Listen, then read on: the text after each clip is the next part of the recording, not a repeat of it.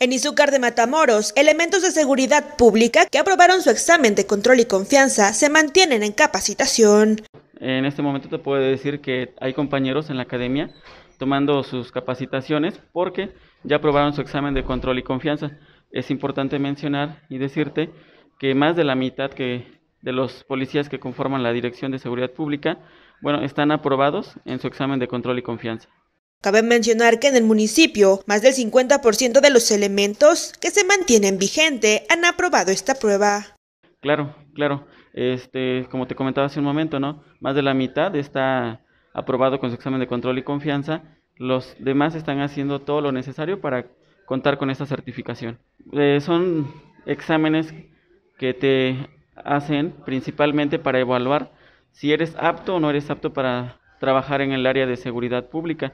Son exámenes eh, psicológicos, psicométricos, médicos y socioeconómicos que te, que te hacen.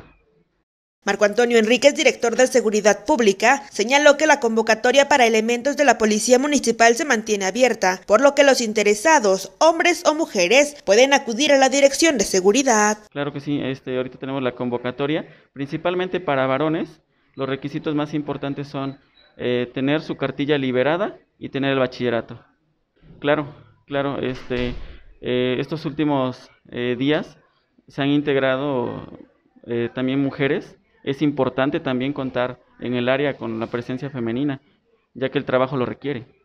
Bueno, eh, los requisitos más importantes para hombres o para mujeres son contar con bachillerato. Esto es un requisito a nivel nacional de parte de la, de la academia o de C3, en donde si va una persona con secundaria, no le van a permitir realizar su examen de control y confianza.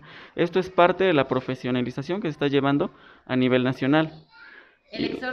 bueno, que, que acuda a las instalaciones de la Dirección de Seguridad Pública con los requisitos que ya habíamos mencionado anteriormente.